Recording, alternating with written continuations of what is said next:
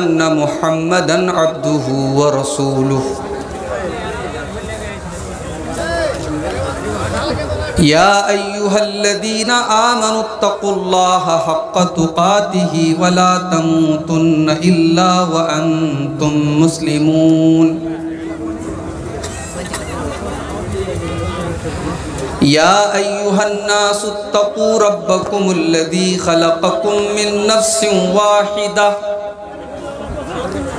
वाहिदा वखलक़ मिनहा ज़ौजहा वबत्त मिनहुमा रिजालन कसीरन व निसाआ वत्तकुल्लाहल्लज़ी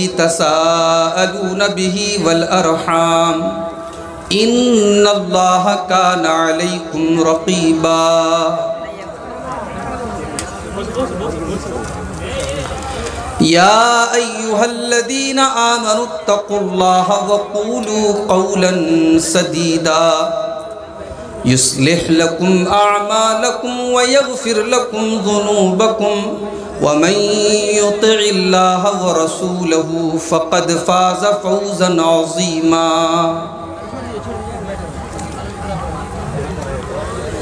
अम्मा बाद फ़ैन खैरल हदीत किताबुल्लाह व खैरल हदी हदी मुहम्मदिन सल्लल्लाहु वसल्लम। व शर्रल उमूरि मुहदतातुहा व कुल्ल मुहदततिन बिदा। व कुल्ल बिदअतिन ज़लालह वकुल्ल ज़लालतिन फिन्नार। अऊज़ु बिल्लाहि मिनश शैतानिर रजीम बिस्मिल्लाहिर रहमानिर रहीम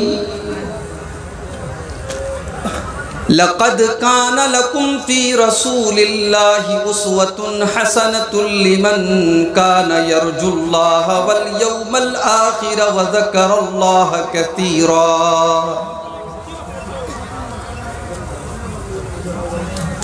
सदर मोहतरम।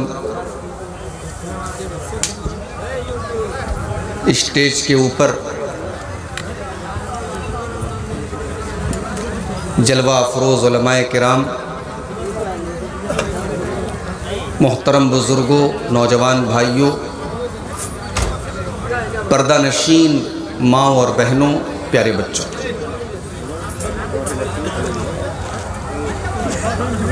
सीमांचल के इस इलाके में छोटे, बड़े सैकड़ों जलसे और प्रोग्राम हर साल होते हैं। ज़्यादातर जलसे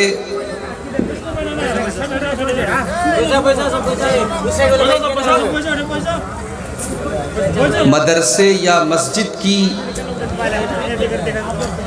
तामीर और तरक्की के लिए होते हैं। मेरी अपनी मजबूरियाँ हैं। इस साल मैं आपके इस इलाके में ये पहला प्रोग्राम अटेंड कर रहा हूँ। ज़ाहिर है, ये प्रोग्राम जो लोग मुनद करते हैं, बड़ी मेहनत करते हैं। महीने महीने से, महीने महीने भर पहले से इसकी तैयारी करते हैं। बड़ी रकम खर्च होती है। फिर बड़े शौक से आप लोग इस तरीके के प्रोग्राम में शामिल होते हैं। जिस गाँव में जलसा होता है, उस गाँव के हर घर में दस दस लोग पंद्रह पंद्रह लोग मेहमान बन के आते हैं। दावतें होती हैं। हज़ारों लोग खाना खाते हैं। रात रात भर प्रोग्राम होता है। और मेरी अपनी जानकारी में इस तरीके का माहौल पूरे हिंदुस्तान में कहीं और नहीं है जो आपके सीमांचल के इलाके में यकीनन, इतने बड़े पैमाने पर और रात भर का प्रोग्राम होना और आपका बैठ करके सर्दी के मौसम में सुनना, ये इस बात की पहचान है, इस बात की अलामत है कि अल्लाह ताला ने आपके दिलों में कुरान और हदीस को, अल्लाह और उसके रसूल की बातों को सुनने का जज्बा अल्लाह ताला ने आपको दिया है। हमारे उत्तर प्रदेश में जलसे होते हैं, रात में ईशा की नमाज़ के बाद शुरू होते हैं, बारह बजे ख़त्म हो जाते हैं। वहाँ तस्वुर नहीं है रात भर जलसे लेकिन मेरे भाइयों, एक सवाल मैं आपसे करना चाहता हूँ। ये जलसे हमारी जो नौजवान नस्ल बैठी है, बच्चे बड़े हो गए हर साल ये जलसे हो रहे हैं।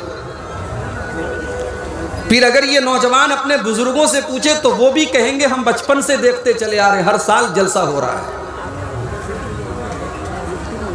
बिहार से, बंगाल से, उत्तर प्रदेश से कभी कभी तो मुंबई से और हैदराबाद से भी उलमाए कराम को बुलाया जाता है। हवाई जहाज़ से, ट्रेन से उनको दावत दी जाती है, वो आते हैं और तकरीरें करते हैं। इतनी मेहनत के बाद और कौम का इतना बड़ा सरमाया खर्च करने के बाद रिटर्न आपको क्या मिल रहा है? इन जलसों के ज़रिए आपके जहन की तरबियत क्या हो रही है? क्या मस्जिदों में नमाजियों की तादाद में कोई इजाफा हुआ? जवाब मिलता है नहीं।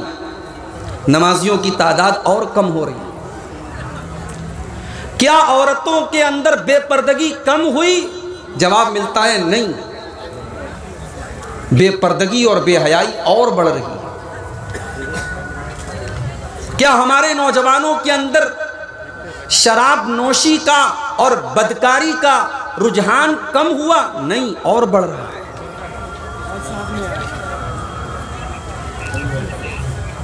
अगर इतनी मेहनत के बावजूद और इतनी तकरीरों के बावजूद अगर हमारे समाज में कोई तब्दीली नहीं आ रही है, कोई परिवर्तन नहीं आ रहा है, कोई चेंजिंग नहीं आ रही है तो मेरे भाइयों, हमें और आपको गौर करने की ज़रूरत है। कहीं ऐसा तो नहीं कि हमारी मेहनत वेस्ट हो रही है, हमारी मेहनत बेकार हो रही है। हम रात रात भर कुरान हदीस बयान कर रहे हैं और एक कान से सुन करके दूसरे कान से उड़ा रहे हैं। वो कान से बात हमारे दिल तक नहीं आ रही है। अगर ऐसा है तो तकरीर में आने वालों को भी, तकरीर करने वालों को भी और तकरीर कराने वालों को भी नए सिरे से गौर करने की ज़रूरत है। और हमें यह सोचने की ज़रूरत है कि कमी कहाँ है और क्यों नहीं, इन जलसों और तकरीरों का असर क्यों नहीं हो रहा? पूरे पूरे गाँव में। कितने गाँव आपके सीमांचल में ऐसे जहाँ एक मदरसा नहीं है। पूरे पूरे गाँव में एक बच्चा ऐसा नहीं है जो कुरान सही तरीके से पढ़ना जानता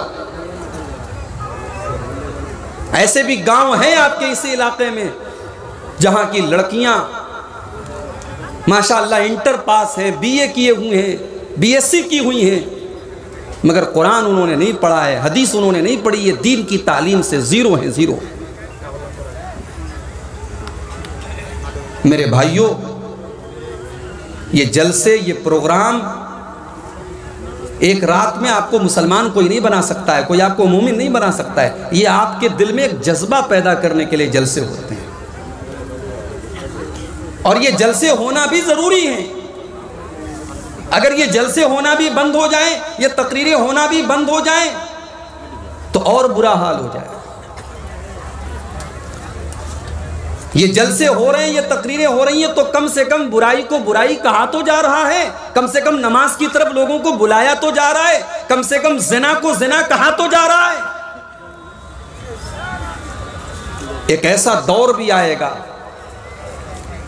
जब ज़मीन के ऊपर बुराई होगी और बुराई को कोई बुराई कहने की हिम्मत भी नहीं करेगा। और जब किसी कौम के ये हालात हो जाएँ, बुराइयाँ हो रही हैं, गलत काम किए जा रहे हैं, मगर गलत कामों से कोई रोकने वाला नहीं है, कोई टोकने वाला नहीं है।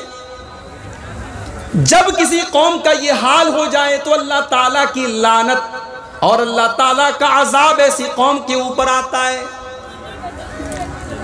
बनी इसराइल के अंदर यही हाल आता है।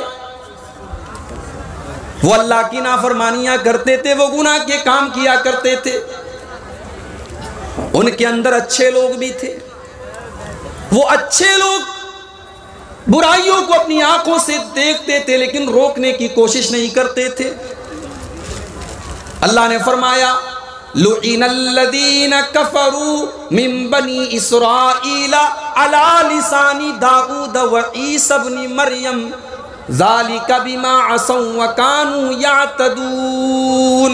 बनी इसराइल के ऊपर अल्लाह ताला ने लानत फरमाई, हज़रत ईसा सलाम की ज़ुबान के ज़रिए, हज़रत दाऊद सलाम की ज़ुबान के ज़रिए क्यों लानत फरमाई?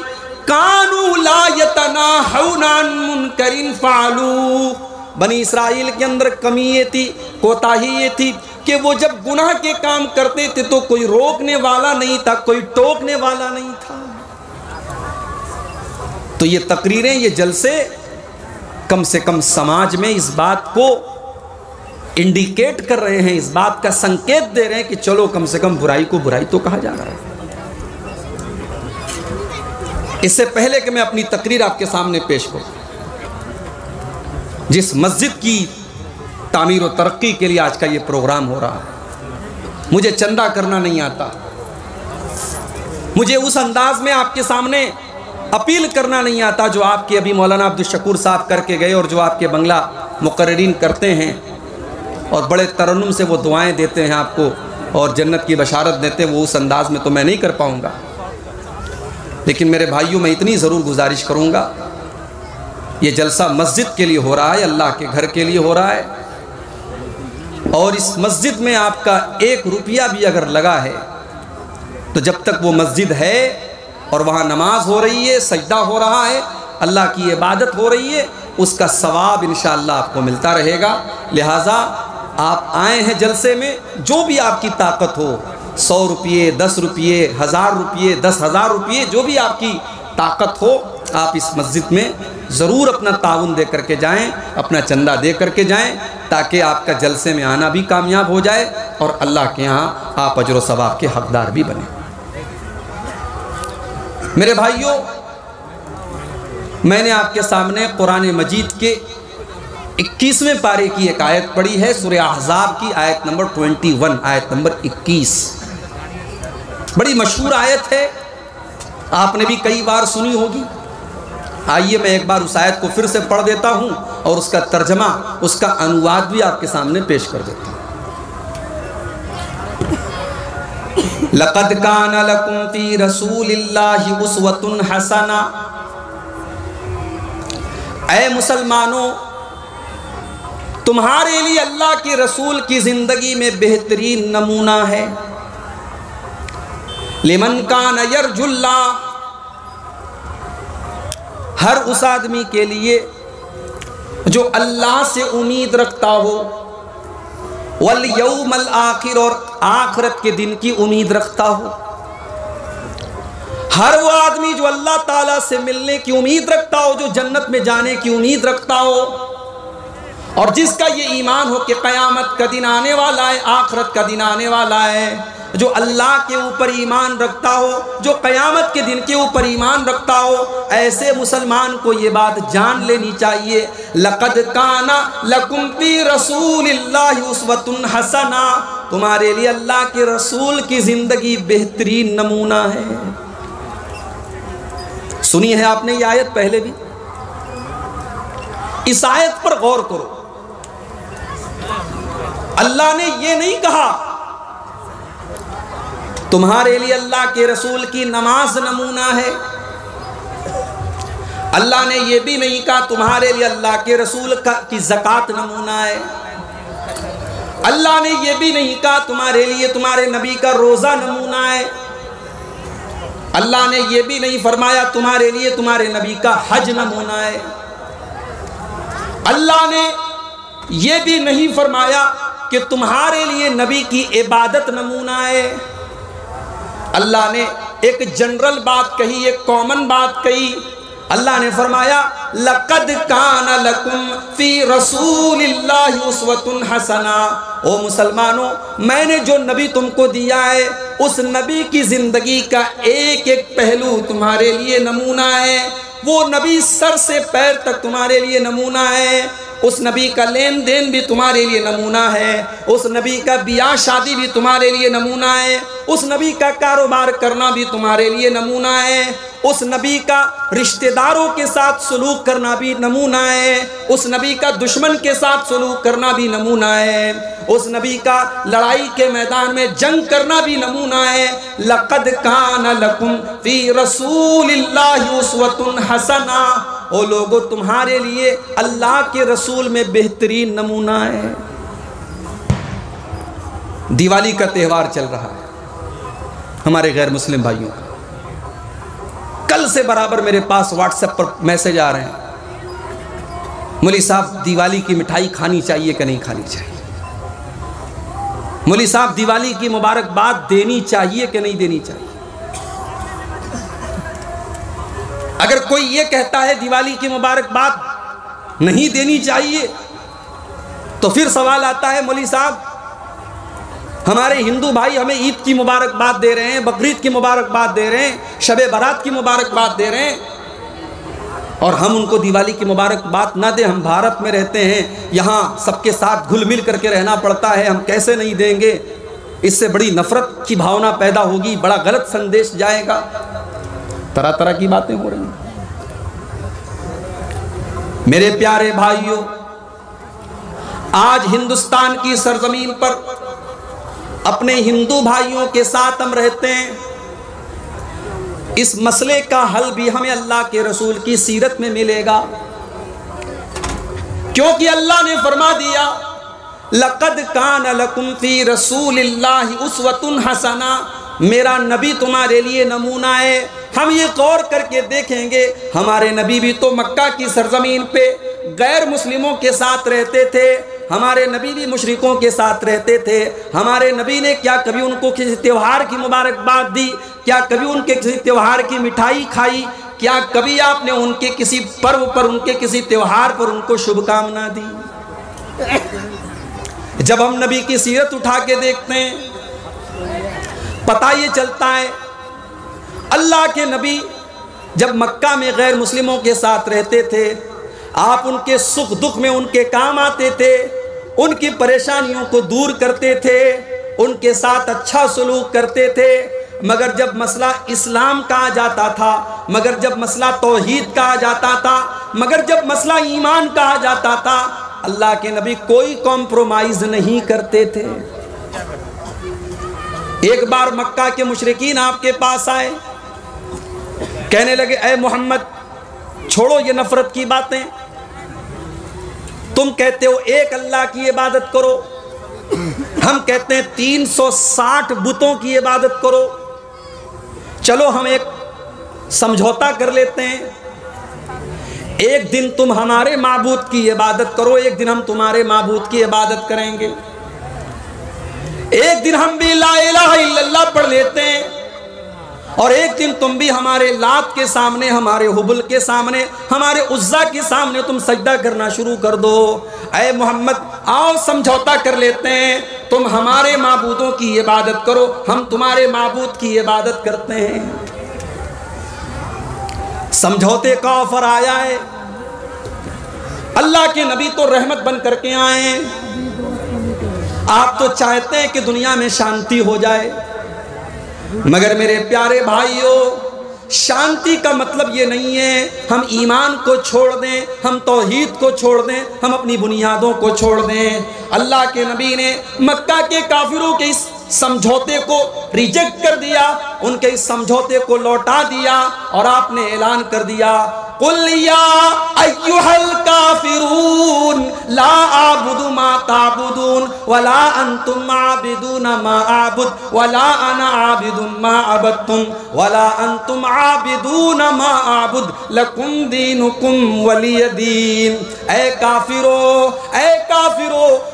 तुम जिसकी पूजा करते हो, उसकी मैं पूजा नहीं कर सकता। और जिसकी मैं इबादत करता हूँ, उसकी तुम इबादत नहीं कर सकते। लकुम दीन हुकुम वली दीन। तुम्हारा दीन तुम्हारे साथ है, हमारा दीन हमारे साथ है। हम तुम्हारे साथ मानवता का सलूक करेंगे, हम तुम्हारे साथ अच्छा सलूक करेंगे, हम भलाई का काम करेंगे, मगर तुम्हारे शिर के काम में तुम्हारा सहयोग नहीं करेंगे, तुम्हारे शिर के काम में हम तुम्हारी मदद नहीं करेंगे। दिवाली का त्यौहार। हमारे हिंदू भाइयों के यहाँ दौलत की एक देवी हैं, लक्ष्मी देवी। वो उनकी पूजा करते हैं और उसी त्यौहार की खुशी में वो मिठाई बांटते हैं। अब जरा गौर करो और अपने दिल पे हाथ रख के बताओ। हम तो मुसलमान हैं। हमारे मज़हब में हमको ये बताया गया वह तो इज्जो मंतशा वह तो जिल्लो मंतशा इज़्ज़त देने वाला भी अल्लाह है और जिल्लत देने वाला भी अल्लाह है। रोजी देने वाला भी अल्लाह है और रोजी को तंग कर देने वाला भी अल्लाह है। औलाद देने वाला भी अल्लाह है और औलाद से महरूम करने वाला भी अल्लाह है। मेरे प्यारे भाइयों, एक मुसलमान कभी ये अकीदा नहीं रख सकता कि दौलत किसी देवी देवता के ज़रिए मिलती है, इल्म किसी देवी देवता के ज़रिए मिलता है। इस्लाम की नज़र में ये शिरक है और ये दुनिया का सबसे बड़ा पाप है। इस्लाम की नज़र में अगर कोई इल्म और दौलत के लिए किसी की पूजा कर रहा है, अल्लाह को छोड़ करके किसी की इबादत कर रहा है। इस्लाम की नज़र में ये सबसे बड़ा अपराध है, सबसे बड़ा पाप है और इस्लाम ये हमसे कहता है, अगर हो सके तो उसको रोक लो शिर करने से, अगर रोक नहीं सकते तो तुम उसको ज़ुबान से मना करो, अगर ज़ुबान से मना नहीं कर सकते तो कम से कम दिल से बुरा जानो। अब मेरे नौजवान साथियों, जो तुम फेसबुक के ऊपर हैप्पी दिवाली और दिवाली की शुभकामनाएँ दे रहे हो तुम अपनी गर्लफ्रेंड की वाल वाल पे जा करके उनके व्हाट्सएप के स्टेटस पे जाकर के तुम मुबारकबाद उनको दीपावली की दे रहे हो। अब ज़रा अपने दिल पर हाथ रख के बताओ, जब तुमने दिवाली की मुबारकबाद दे दी और तुमने दिवाली की मिठाई खा ली तो तुम उस शिर को कहाँ तुम दिल से बुरा जान रहे हो? अगर तुम दिल से बुरा जानते तो उसकी मुबारकबाद ना देते, तुम दिल से बुरा जानते तो उसकी मिठाई ना खाते। ये बड़ी अजीब बात है। लोग कहते हैं, भाई, इतने सख्त मत बनो। भाई, हम सख्त बनने की बात कहाँ कर रहे आप गैर मुस्लिमों के साथ अच्छा सलूक करें, इंसानियत का सलूक करें, अपने अखलाक से उनका दिल जीतें। ये आपसे किसने कह दिया कि आप दिवाली की मुबारकबाद देंगे और दिवाली की मिठाई खाएँगे? तब आपका गैर मुस्लिम भाई आपसे खुश हो जाएगा। ये बात याद रखिए मेरे भाइयों, हमारे नबी सल्लल्लाहु अलैहि वसल्लम गैर मुस्लिमों के साथ सलूक करने के मामले में भी हमारे लिए नमूना है। मस्जिद में आप नमाज़ पढ़ने के लिए गए, अल्लाह अकबर कह करके आपने हाथ बांधा, नमाज़ आप शुरू करने जा रहे हैं। अल्लाह के नबी फरमाते सल्लू कमा राई तुमूनी ओसली नमाज़ वैसे पढ़ो जैसे अपने नबी को तुमने नमाज़ पढ़ते हुए देखा है। जैसा तरीका नबी का था नमाज़ का, वैसे ही तरीके पर हमें नमाज़ पढ़नी है। अल्लाह के रसूल जब नमाज़ पढ़ते थे, सीने पर हाथ बांधते थे। सबसे पहले दुआ सना पढ़ते थे। अल्लाह बाइद बैनी पढ़ते थे औजुबिल्ला पढ़ते थे, बिस्मिल्लाह पढ़ते थे सुर फातिहा पढ़ते थे। आपने ये भी फरमाया, बगैर सुर फातिहा के कोई नमाज़ नहीं होती। आपने ये भी फरमाया, जो सुर फातिहा न पढ़े, फ़हिया खिदाजुन फ़हिया खिदाजुन उसकी नमाज़ अधूरी है अधूरी है अधूरी है। उसकी नमाज़ पूरी नहीं है, उसकी नमाज़ पूरी नहीं है। उसके बाद अल्लाह के नबी कोई और सूरत पढ़ते। फिर आप रुकू में जाते और रुकू में जाने के पहले आप रफा यदैन करते, अपने दोनों हाथों को उठाते कंधे तक। रुकू में जब आप जाते, आपकी पीठ और आपका सर बिल्कुल बराबर होता और इत्मीनान से आप रुकू करते और अपने दोनों हाथों से अपने घुटने को मजबूती से पकड़ करके आप रुकू करते। रुकू में आपने बहुत सारी दुआएँ सिखाई हैं, सबसे मशहूर दुआएँ सुबहान रबी अलाजीम ये दुआ कम से कम तीन बार पढ़नी चाहिए, अल्लाह के रसूल पढ़ते थे। रुकू से उठने के बाद आप सीधे खड़े होते, रफ़ा यदैन करते, अपने हाथों को कंधे तक उठाते।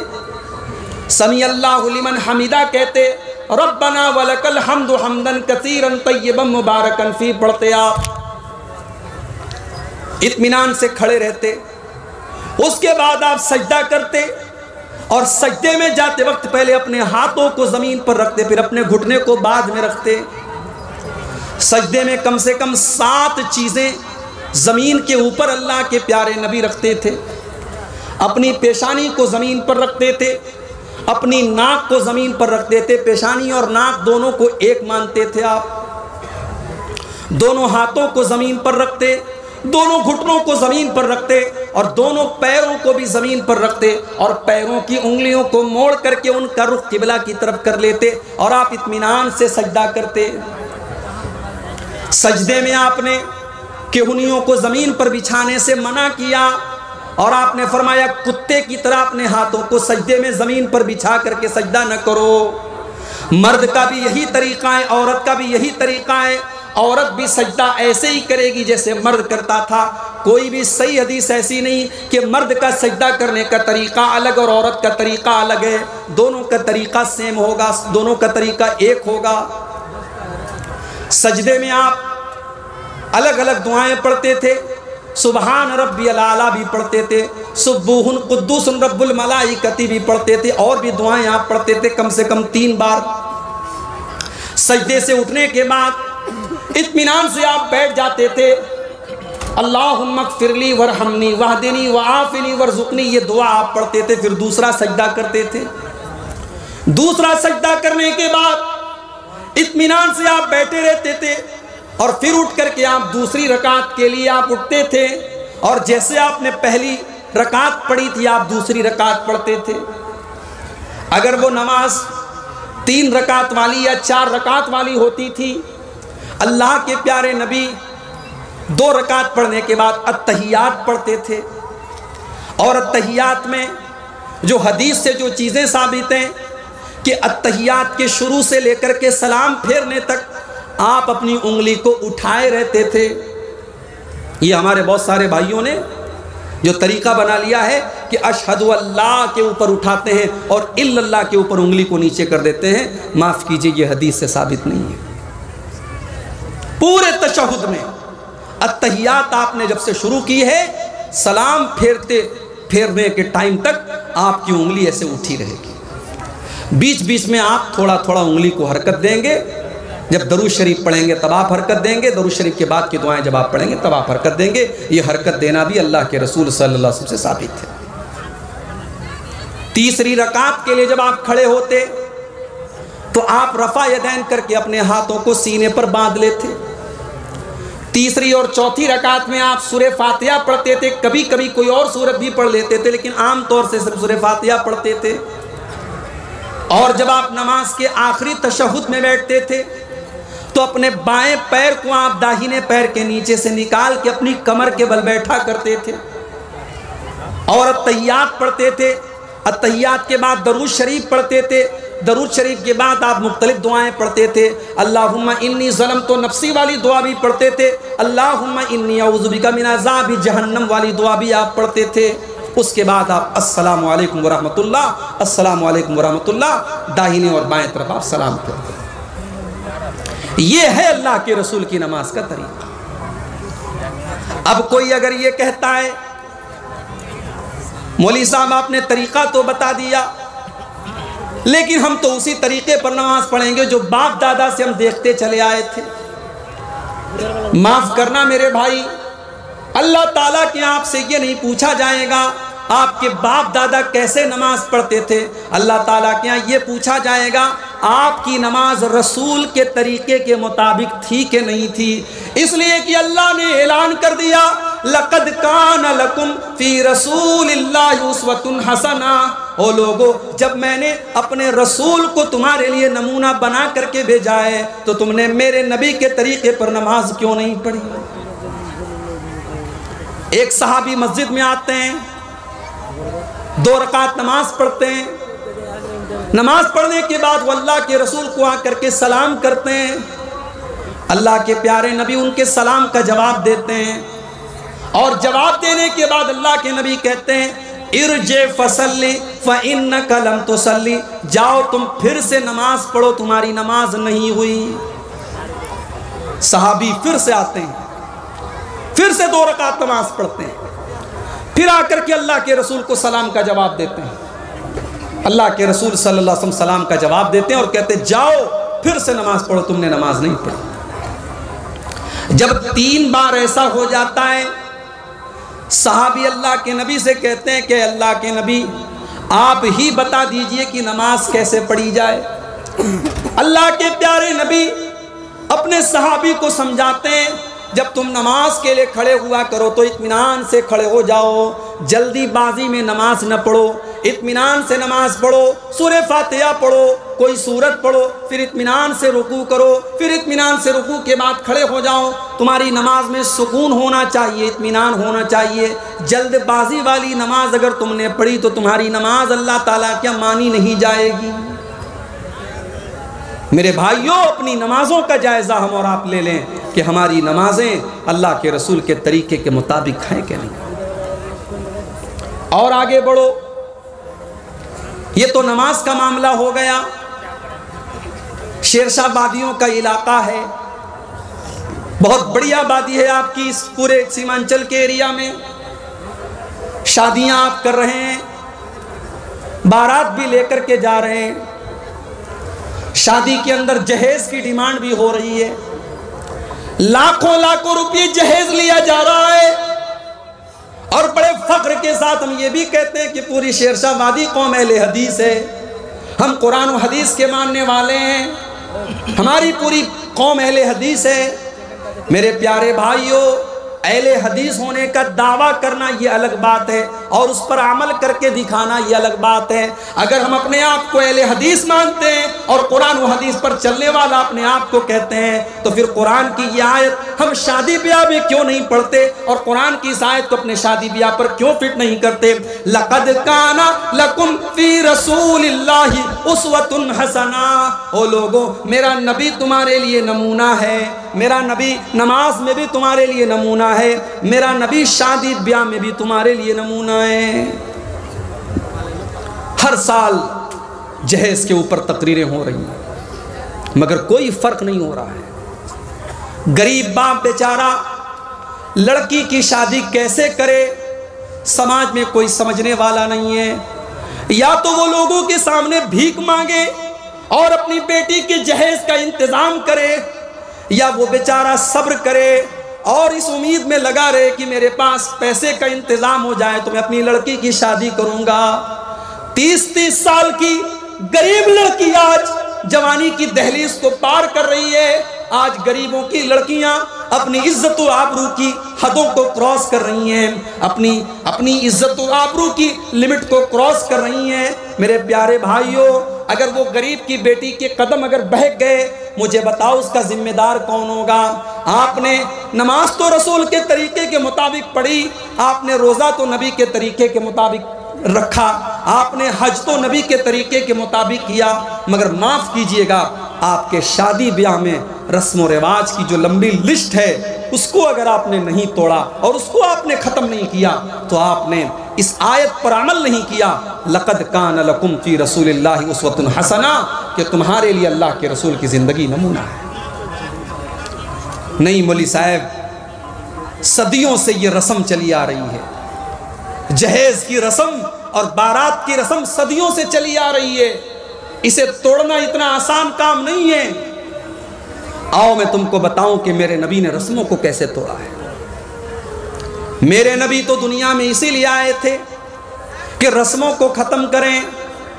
इंसानियत के कंधों पर रस्म रिवाज की जो बेड़ियाँ थी, जो जंजीरें थी, अल्लाह के प्यारे नबी रस्म रिवाज की उन बेड़ियों को तोड़ने के लिए दुनिया में आए थे।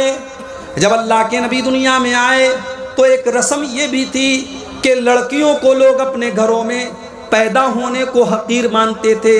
लड़कियाँ पैदा होती थी तो अरब के अंदर बहुत सारे कबीले ऐसे भी थे जो लड़कियों के पैदा होने के बाद उनको ज़िंदा ज़मीन में दफन कर देते थे। लड़कियों को बोझ माना जाता था, लड़कियों को कलंक माना जाता था। मेरे नबी ने आकर के ये तालीम दी, ओ बेटी वालों, बेटी बोझ नहीं है, बेटी कलंक नहीं है, बेटी तो रहमत बन करके आती है, बेटी तो अपने बाप को जन्नत का टिकट देने के लिए आती है, बेटी तो अपने बाप को जहन्नम से बचाने के लिए आती है। अल्लाह के नबी ने आकर के ऐलान किया मनिब तुलिया मिनहाज हिल बनाती शैआ कुन्न लहू सितरम मिनन्नार। जिसको अल्लाह ताला बेटी दे करके आजमाए, जिसके घर में बेटी पैदा हो जाए और बेटी की सही तरीके से वो परवरिश करे, बेटी को सही तरीके से वो पाल ले तो वो बेटी अपने माँ बाप को जहन्नम की आग से बचाने का काम करे। और जानते हो, अल्लाह के नबी अपनी बेटियों से बहुत प्यार करते थे। आज तो कितने लोग हैं? बेटी अपने बाप से बात करने से कतराती है। वही बाप जो बेटे से प्यार से बात करता है, बेटी से प्यार से दो बातें करना भी बाप को पसंद नहीं है। सुन लो, अगर कोई अपनी बेटी के साथ ऐसा व्यवहार करता है, कान खोल करके सुन ले, ये जनाब मोहम्मद रसूलुल्लाह सल्लल्लाहु अलैहि वसल्लम का तरीका नहीं है, ये मेरे नबी की सीरत नहीं है। मेरे नबी तो अपनी बेटियों से इतना प्यार करते थे। तिरमिजी की रिवायत है अम्मा आयशा फरमाती हैं, जब अल्लाह के नबी की बेटी फातिमा आपसे मिलने के लिए आती थी, अल्लाह के नबी अपनी बेटी के इस्तकबाल में खड़े हो जाते थे, अपनी बेटी का वेलकम करते थे और अपनी बेटी के हाथों को चूम लेते थे और अपनी बेटी को अपने बगल में अपनी सीट पर अल्लाह के प्यारे नबी बिठाते थे। अपनी बेटियों से इतना प्यार करते थे अल्लाह के नबी, अपनी बेटियों की आँख में कभी आप आँसू नहीं देख पाते थे। हज़रत जैनब रज़ी अल्लाह तालाना जब अपने शौहर को छुड़ाने के लिए अपना हार लेकर के आती हैं और मुसलमानों को वो हार देती हैं, जो हज़रत जैनब को उनकी शादी के मौके पर उनकी माँ ने दिया था। जब अल्लाह के रसूल के सामने वो हार लाया जाता है, अल्लाह के नबी की आँखों से आँसू बहने लगते हैं। अल्लाह के नबी के दिल को तकलीफ़ पहुँचती है कि आज मेरी बेटी को अपने शौहर को बचाने के लिए वो हार देना पड़ रहा है। अल्लाह के नबी साहबा से कहते हैं कि हो सके तो जैनब का हार वापस कर दो और अबुलास को रिहा कर दो। साहब कराम ने हज़रत जैनब को वो हार वापस कर दिया। मेरे नबी तो अपनी बेटियों से इतना प्यार करते थे कि अपनी बेटियों की आँख में आँसू नहीं देख पाते थे। आपकी सबसे छोटी बेटी, हज़रत फातिमा, आप उनकी शादी करते हैं हज़रत अली के साथ। आज हमारी लड़कियों के अच्छे अच्छे रिश्ते आते हैं। हम ठुकरा देते हैं। लड़का मौलवी है, लड़का हाफिज है, पाँच दस हज़ार रुपये महीना कमा रहा है। हमारी बेटी को ऐशो आराम से नहीं रख पाएगा। मेरे प्यारे भाइयों, कब तक आप दुनियावी चीज़ों को तरजीह देंगे और कब तक आप दीनदारी को पसे पुष्ट रखेंगे, दीनदारी को आप कुर्बान करेंगे, कब तक आप ऐसा करेंगे? अल्लाह के नबी ने अपनी सबसे लाडली बेटी हज़रत फ़ातिमा की शादी हज़रत अली के साथ की। और माफ़ कीजिए, हज़रत अली के पास कोई सरकारी नौकरी नहीं थी, कोई बड़ा बिज़नेस नहीं था कोई बहुत बड़ी प्रॉपर्टी नहीं थी, बल्कि जब अल्लाह के नबी ने अपनी बेटी की शादी की तो हज़रत अली के पास तो अपना वलीमा करने का इंतज़ाम भी नहीं था, अपनी बीवी को महर देने का इंतज़ाम भी नहीं था। वो तो अल्लाह के रसूल ने उनको मशवरा दिया कि जाओ तुम अपनी ज़रा बेच करके आओ, और उससे उन्होंने वलीमा का इंतज़ाम किया और अपनी बीवी को महर देने का इंतज़ाम किया।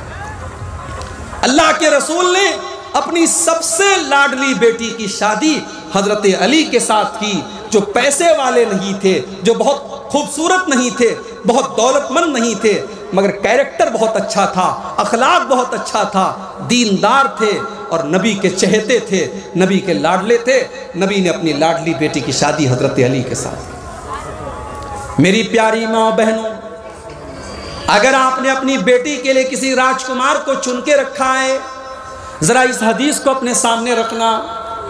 हज़रत फातिमा, हज़रत अली के घर में आती हैं और इतनी गुर्बत की ज़िंदगी गुजारती हैं कि हज़रत अली के घर में नबी की लाडली बेटी को चक्की भी चलाना पड़ता है, अपने हाथों से सारे काम करने पड़ते हैं। हज़रत फातिमा के हाथों पर चक्की चलाने की वजह से निशान भी पड़ जाते हैं, उनके हाथों पर नील भी पड़ जाते हैं।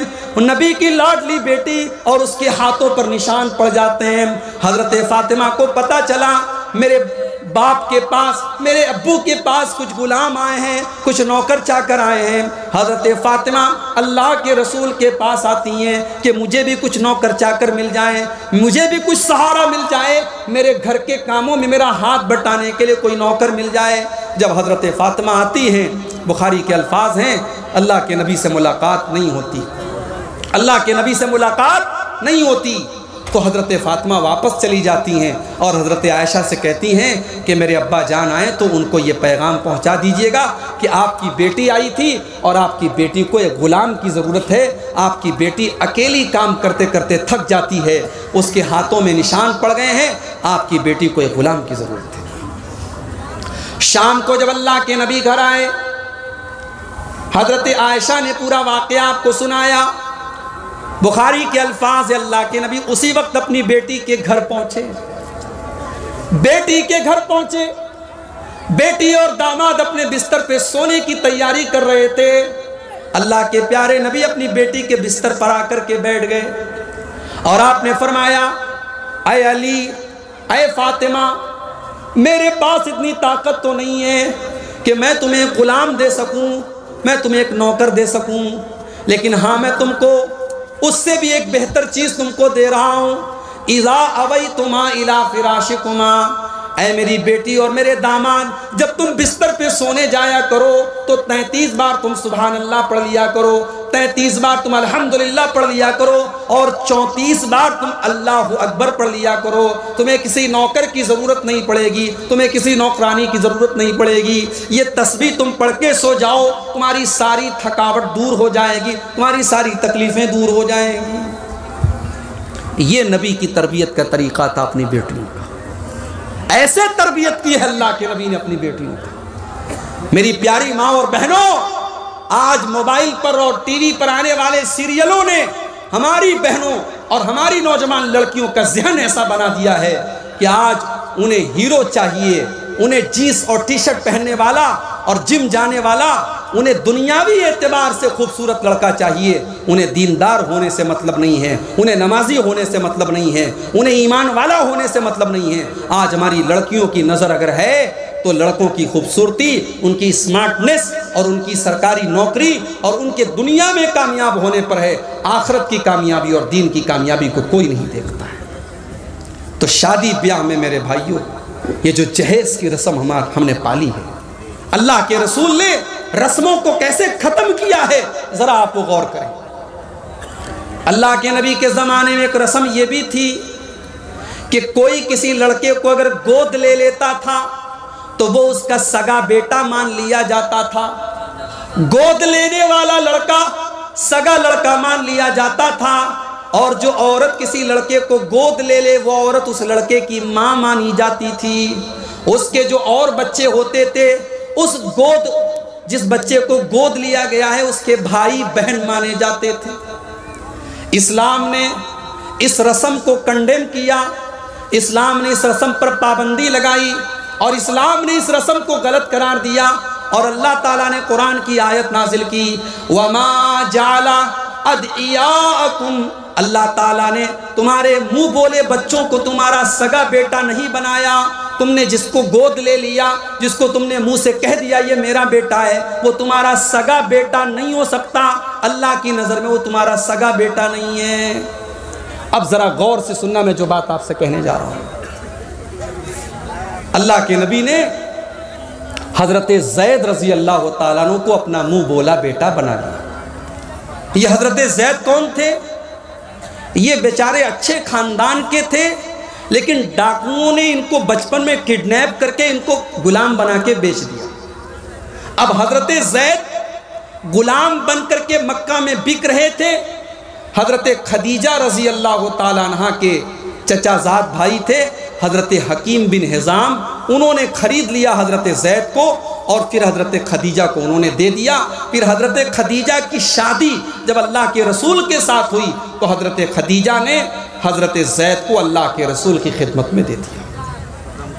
अल्लाह के नबी ने हज़रत जैद को इतना प्यार दिया, इतनी मोहब्बत दी कि जब हज़रत जैद का सगा बाप और उनका चचा, जब उनको पता चला कि हमारा बेटा, हमारा भतीजा मक्का में मोहम्मद के पास रहता है सल्लल्लाहु अलैहि वसल्लम जब उनको ये पता चला कि हमारा बेटा मक्के में एक आदमी के पास रहता है तो हज़रत जैद का बाप और उनका चचा अल्लाह के रसूल के पास आए और कहा कि अय मोहम्मद, हम अपने बेटे को लेने आए हैं, आप हमारा बेटा हमारे हवाले कर दीजिए। अल्लाह के रसूल ने कहा, ठीक है, अच्छी बात है, आप जैद से पूछ लीजिए, अगर वो आपके साथ जाने को तैयार है, आप शौक से लेके चले जाइए। जैद के बाप और जैद के चचा ने आकर के हज़रत जैद से पूछा कि अय जैद, हम तुम्हें अपने साथ लेकर के जाने के लिए आए हैं। तुम गुलामी की ज़िंदगी छोड़ दो। चलो अपने घर चलो और आज़ाद की ज़िंदगी गुजारो। हज़रत जैद जवाब देते हैं मेरे वालिद और ऐ मेरे चचा मैं अपने आका को छोड़ करके कहीं जाने वाला नहीं हूँ। मेरा सगा बाप भी उतना प्यार मुझे नहीं दे सकता था, जितना मोहम्मद रसूलुल्लाह ने मुझको दिया है। मैं अपने आका को छोड़ करके, अपने नबी को छोड़ करके मैं कहीं जाने वाला नहीं हूँ। मैं रहूँगा तो मोहम्मद रसूलुल्लाह के साथ रहूँगा। जब बाप ने ये देखा कि मेरा बेटा जाने को तैयार नहीं है, बाप बेचारा मजबूर होकर के चला गया। अल्लाह के रसूल इतना खुश हुए आपने आकर के मक्के में ऐलान किया, आज से जैद मेरा बेटा है और मैं इसके बाप के जैसा हूँ और मेरी प्रॉपर्टी का वारिस भी जैद बनेगा। आपने ऐसा ऐलान कर दिया और पूरे मक्का में लोग हज़रत जैद को जैद बिन मोहम्मद कहने लगे। अब गौर से सुनिएगा जो बात मैं कहना चाहता हूँ। जब कुरान की यह आयत नाजिल हुई कि किसी को अपना बेटा बना लेने से वो सगा बेटा नहीं बन जाता। अब इस रस्म को ख़त्म करने के लिए अल्लाह ताला ने अपने नबी को एक हुक्म दिया। हुक्म ये दिया कि ए नबी, हज़रत ज़ैनब रज़ी अल्लाह तालाना जो जैद की बीवी हैं, जब जैद अपनी बीवी को तलाक दे दें तो अय मोहम्मद वसल्लम, आप जैद की बीवी के साथ तलाक के बाद जब वो इद्दत पूरी कर ले तो आप उनसे निकाह कर लीजिए। अल्लाह के रसूल को अल्लाह ने हुक्म दिया कि आप अपने मुँह बोले बेटे की मुतलका बीवी के साथ, जो समाज की नज़र में आपकी बहू है, अपनी उस लड़की के साथ, उस औरत के साथ आप शादी कीजिए। कितनी बड़ी बात है। आज हमारे समाज में अगर ऐसी कोई रस्म हो और आपसे मैं कहूँ कि इस रस्म को तोड़ दीजिए तो आपकी पेशानी पर बल पड़ जाएँगे, पसीना आ जाएगा आपको कि इतनी खतरनाक रस्म। अल्लाह ने अपने नबी को हुक्म दिया कि अय नबी, जब जैनब की इद्दत ख़त्म हो जाए तो आपको जैनब के साथ निकाह करना है। अल्लाह के नबी डर रहे थे कि मैं अगर जैनब के साथ निकाह करूँगा तो समाज क्या कहेगा? लोग ये कहेंगे कि मोहम्मद रसूलुल्लाह ने अपनी बहू के साथ शादी कर ली, अपनी बहू के साथ निकाह कर लिया। बड़े गौर से सुनना मेरे प्यारे भाइयों मोहम्मद रसूलुल्लाह ने कैसे रस्म रिवाज को ख़त्म किया है? अल्लाह के नबी सल्लल्लाहु अलैहि वसल्लम ने हज़रत ज़ैनब के साथ जब निकाह किया, पूरे मक्का में एतराज़ होने लगा। लोग कहने लगे मोहम्मद रसूलुल्लाह ने अपनी बहू के साथ शादी कर ली। लोग कहने लगे, सारे मुसलमानों को चार शादी करने की इजाज़त है। मोहम्मद सल्लल्लाहु अलैहि वसल्लम ने पांचवी शादी कर ली। लोग कहने लगे, इन्होंने दूसरों के लिए अलग कानून बनाया और अपने लिए अलग कानून बनाया। अब अल्लाह ने कुरान की आयत नाजिल की सुर आज़ाद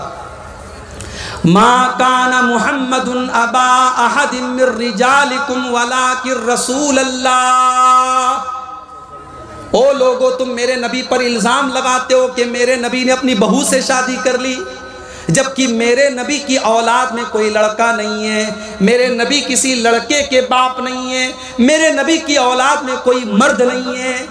आपके लड़के हुए, तीन लड़के हुए, लेकिन तीनों लड़कों का इंतकाल बचपन में हो गया।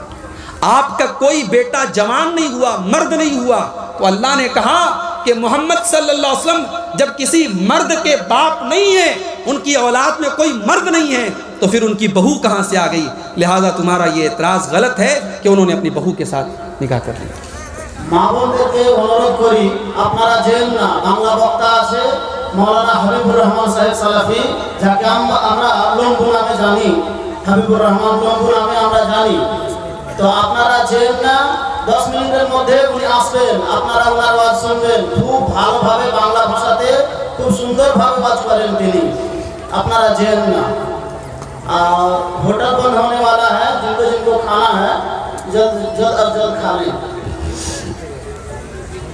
गौर करें मेरे भाइयों आप आप एक रस्म को तोड़ने को तैयार नहीं है अल्लाह के नबी ने ऐसी रस्म को तोड़ा है पूरा समाज आपका दुश्मन बन गया मगर अल्लाह के रसूल ने हज़रत ज़ैनब के साथ निकाह किया क्योंकि अल्लाह का हुक्म था। मेरे भाइयों, आप अगर अपने आप को अहले हदीस मानते हैं, कुरान हदीस पर चलने वाला कहते हैं तो रस्म व रिवाज की इन बेड़ियों को ख़त्म करो और शादी ब्याह को आसान करो और मेरी बात नोट कर लो। समाज से बेहयाई और जिनाकारी नहीं ख़त्म हो सकती जब तक हम निकाह के सिस्टम को आसान नहीं करेंगे। अल्लाह के प्यारे नबी फरमाते हैं, इन्ना आजमन निकाही बरकतन सरूहू मऊनतन। सबसे ज़्यादा बरकत वाला निकाह वो है जिसके अंदर सबसे कम खर्च किया जाए। अल्लाह के नबी फरमाते हैं इदा खतब इलैकुम तरजौन दीनहु व जब तुम्हारे लड़का या लड़की के लिए कोई अच्छा रिश्ता आ जाए, कोई दीनदार रिश्ता आ जाए तो तुम शादी करने में देर न करो। इल्ला तफालू अगर तुम शादी वक्त पर नहीं करोगे, अगर अपने लड़का या लड़की की तुम शादी सही टाइम पर नहीं करोगे, तकुन फितनतुन फिल अर्दी व फसाद नारीस तो ज़मीन के अंदर फितना फैल जाएगा और ज़मीन के अंदर फसाद फैल जाएगा, ज़मीन के अंदर बिगाड़ फैल जाएगा। आज बिगाड़ फैल चुका है और आज आप देखें कि कौन सा मुसलमानों का गाँव ऐसा है और कौन सा मुसलमानों का शहर ऐसा है जहाँ मुसलमान नौजवान, चाहे वो लड़के हों, चाहे वो लड़कियाँ हों, वो बदकारी की गलत आदत में न मुब्तला हों। आज हमारे घरों तक बदकारी पहुँच चुकी है मेरे भाइयों। हमारे गाँव और हमारे देहातों में बुराई पहुँच चुकी है। हम जब तक निकाह को आसान नहीं करेंगे, बुराई ख़त्म नहीं हो सकती। हमारे नबी हमारे लिए नमूना हैं और नमूना आप हर एतबार से हैं। आप जब बिज़नेस करें, व्यापार करें, नौकरी करें, पैसा कमाने के लिए आप घर से निकलें, पैसा कमाने के लिए भी अल्लाह के रसूल आपके लिए नमूना है। आप आज़ाद नहीं हैं कि आप ब्याज का पैसा भी अपने घर में लेकर के आएँ, रिश्वत का पैसा भी आप अपने घर में लेकर के आएँ, शराब बेच करके आप पैसा कमाएँ। नहीं नहीं, पैसा कमाइए बिज़नेस कीजिए, मगर हलाल तरीके से कीजिए। सूद और ब्याज की रकम अपने घर में मत लाइए। मेरे प्यारे भाइयों, आज अपने बच्चों से हम इतना प्यार करते हैं कि हमारे बच्चों को ज़रा सी खरोंच आ जाए, हम बेचैन हो जाते हैं। हमारा बेटा बाइक से जा रहा है, हमारी बेटी घर से जा रही है बेटे को चोट आ जाए तो बाप बेचैन हो जाता है। बेटी को खरोच आ जाए तो माँ बेचैन हो जाती है। मेरे प्यारे भाइयों, अपने बेटे और बेटियों से इतना प्यार करते हो और उसी बेटे को, उसी बेटी को हराम कमाई ला करके खिलाते हो। अपने बच्चों की परवरिश हराम पैसे से करते हो। क्या आपने अल्लाह के रसूल की वो हदीस नहीं सुनी? माँ यरबू लहम मिन सोहतिन, जिस बदन की परवरिश हराम कमाई से की जाए। जिस बदन के अंदर हराम पैसा चला जाए, फन्नार औला बिही, वो बदन जहन्नम की आग में डाला जाएगा। आप अपने बेटे और बेटी को दुनिया की आग में जलता हुआ नहीं देख सकते। मेरे भाइयों, जहन्नम की आग में अपने बच्चों को कैसे आप जलता हुआ देख सकते हो? सूद से अपने आप को बचाओ मेरे भाई। हराम कमाई से अपने आप को बचाओ। याद रखो कल क़यामत के दिन हमसे सवाल किया जाएगा कि हमने पैसा कहाँ से कमाया और कैसे कमाया। और ये क़यामत की निशानी भी अल्लाह के रसूल सल्लल्लाहु अलैहि वसल्लम ने बताई है कि याती अलन्नासी ज़मान ला युबालिन अईना अखज़ल माल, कि एक ऐसा दौर भी आएगा जब लोग परवाह नहीं करेंगे कि पैसा हलाल तरीके से कमा रहे हैं या हराम तरीके से कमा रहे हैं। मुझे लोगों ने बताया कि इस इलाके में सूद का रिवाज भी बहुत तेज़ी से बढ़ रहा है। लोग सूद की रकम खा रहे हैं और उसको सूद समझ भी नहीं रहे हैं। मेरे भाइयों, सूद सूद है, ब्याज ब्याज है। हम उसका नाम बदल करके इंटरेस्ट रख दें। हम उसका नाम बदल करके कुछ और रख दें, लेकिन ब्याज ब्याज रहेगा, शराब शराब ही रहेगी, जिना जिना ही रहेगा। नाम बदल देने से कोई हराम चीज़ हलाल नहीं हो जाती। तो अल्लाह ने फरमाया, लक़द कान लकुम फ़ी रसूल उसवतुन हसना। तुम्हारे लिए अल्लाह के रसूल की ज़िंदगी बेहतरीन नमूना है। हमें और आपको आज इस पहलू पर गौर करने की ज़रूरत है कि हमारे नबी क्या सिर्फ़ नमाज़ में हमारे लिए नमूना है? क्या सिर्फ़ रोज़ा में हमारे लिए नमूना है? जी नहीं। हमारे रसूल अक्रम वसल्लम ज़िंदगी के तमाम मामला में हमारे लिए नमूना है।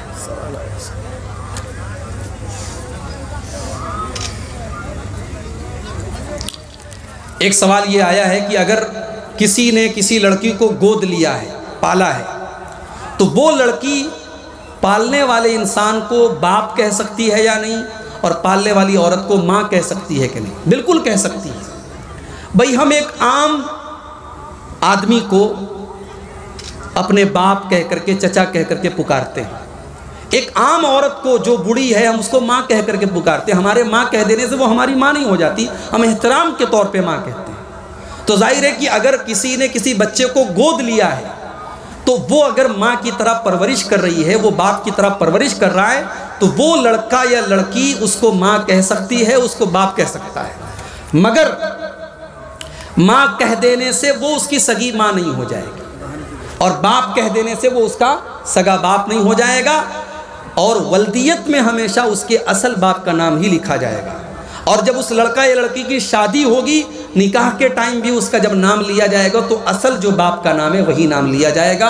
और सरकारी कागजात भी जब बनवाए जाएँ तो कोशिश की जाए कि असल वालिद का नाम ही लिखा जाए, ताकि किसी तरीके की गलत फहमी न हो। इस्लाम ने इस पर बड़ी सख्ती से ज़ोर दिया है कि वल्दियत किसी की तब्दील नहीं होनी चाहिए। जो जिसका बाप है, उसके असल बाप का नाम ही उसके साथ लेना चाहिए। और यहाँ एक बात और भी याद रखिए।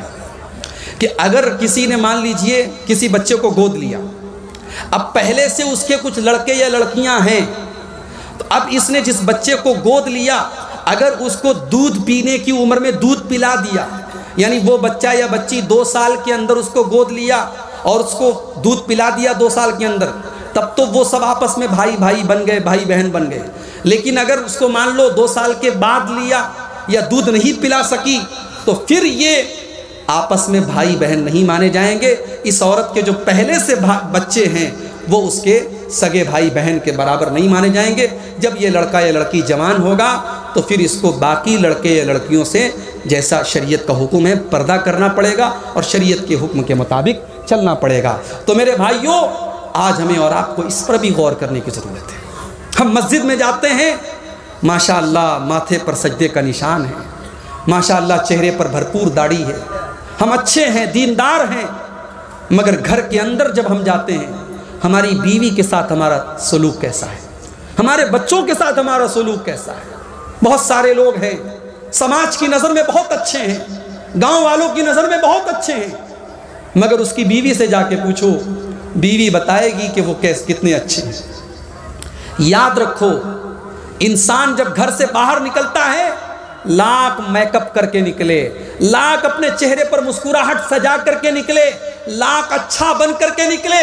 मगर इंसान कितना अच्छा है, ये उसके बच्चे जानते हैं, उसकी बीवी जानती है, उसके घर वाले जानते हैं। इसलिए अगर अच्छा बनना है तो सबसे पहले अपने घर वालों के लिए अच्छे बनो, अपनी बीवी के लिए एक अच्छे शौहर बनो, अपने बच्चों के लिए एक अच्छे बाप बनो, अपने माँ बाप के लिए एक अच्छी औलाद बनो। इसीलिए अल्लाह के नबी फरमाते हैं खैरुकुम खैरुकुम ले आहली ओ लोगो, तुम में सबसे अच्छा इंसान वो है जो अपने परिवार के लिए अच्छा हो। वो आना खई रुकुम ले आहली और मैं तुम्हारे अंदर अपने परिवार के लिए सबसे अच्छा हूँ। क्या आप अपनी बीवी के साथ हँसी मज़ाक करते हैं? अरे नहीं, मौली साहब, दिन भर काम करके रात में थके हारे घर जाते हैं। बीवी के साथ हँसी मज़ाक कौन करेगा?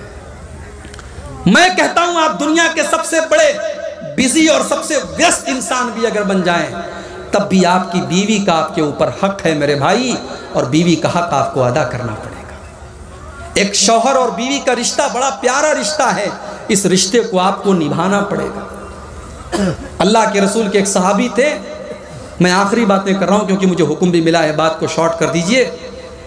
अल्लाह के रसूल के एक सहाबी थे, हज़रत अबू दरदा अंसारी रज़ी अल्लाह ताला। ये अंसारी सहाबी थे मदीना में रहते थे। ये रात में नमाज़ पढ़ते थे, दिन में रोज़ा रखते थे।